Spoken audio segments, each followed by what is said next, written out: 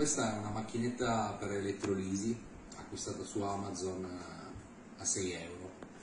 Quindi poi chi vuole posso dare il link di questo aggeggio. Eh, l'elettrolisi è un fenomeno che in pratica eh, immettendo dell'energia elettrica dentro l'acqua va a scomporre eh, l'idrogeno e l'ossigeno eh, che compongono l'acqua e fanno, fanno, emergere quelli che sono i, gli altri elementi presenti nell'acqua. Okay?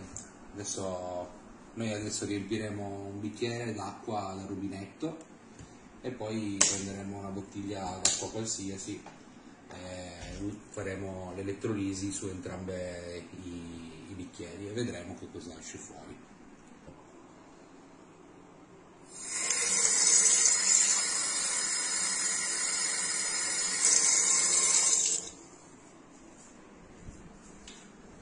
Questo è il bicchiere, quello di destra sarà il bicchiere di acqua del rubinetto, mentre quello di sinistra sarà l'acqua della bottiglia.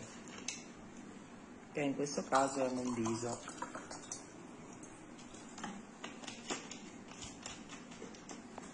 Allora, come vedete non c'è nulla nell'acqua in questo momento, adesso andiamo ad attaccare la corrente, ovviamente questo è un aggeggio che non devono usare i bambini, perché è pericoloso.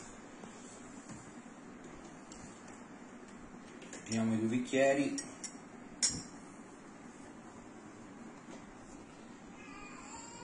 Attacchiamo la corrente e inseriamo l'aggeggio nell'acqua. In pratica adesso la corrente sta passando attraverso l'acqua che innesca una reazione chimica che va a scomporre gli elementi Quindi ricordiamo che questo di destra è quello dell'acqua del rubinetto del comune di Torino, mentre quello di sinistra è un'acqua minerale Monviso. Monviso, sì. Quindi anche di, non di buona qualità, secondo un prezzo. Adesso si lascia per qualche secondo lavorare lo strumento come vedete l'acqua di destra sta già assumendo una, una colorazione di, di palude. colore nero.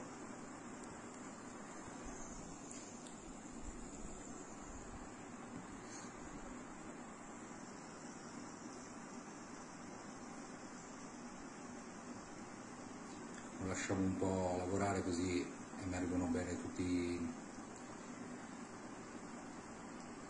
fai vedere anche da sopra il rumore che fa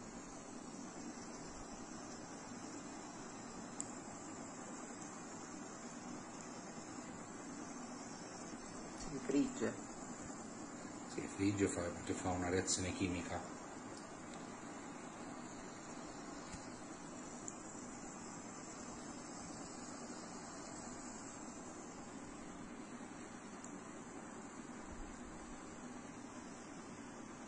Ovviamente il bicchiere dopo che abbiamo fatto questa cosa diventerà caldo, quindi non bisogna toccarlo perché se no ci si brucia. Ecco, fai vedere qua sotto che cosa sta succedendo in basso. Dammi.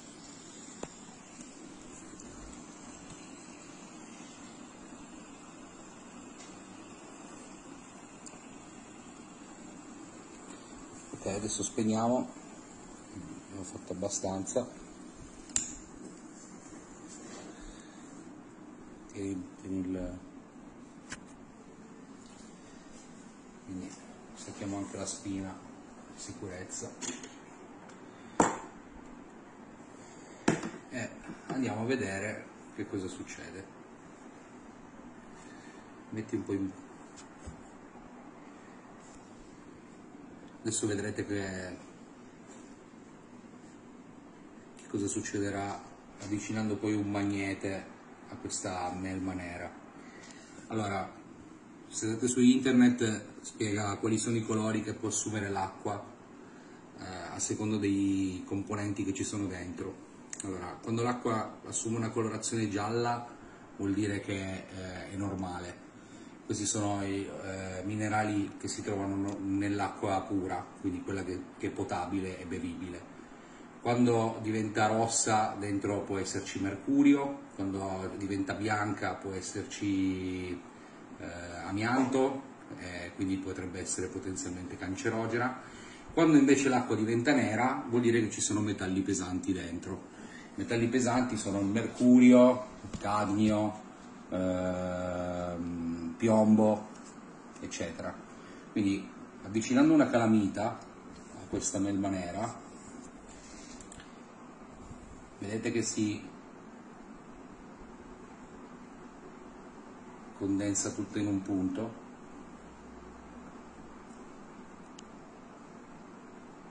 vede? Sì, non tantissimo. Sì, comunque sì. Eh, perché bisogna aspettare che si depositi sul fondo poi per farlo vedere bene, se vuoi puoi mettere in pausa un attimo.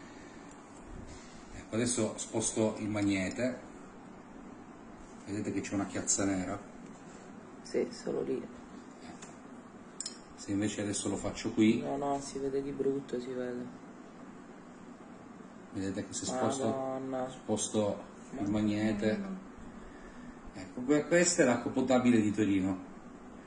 Adesso ditemi se non bisogna andare a fare una denuncia a chi gestisce l'acquedotto. Noi beviamo cerca di spostarti di qua perché di qua è bianco. Così si vede ancora meglio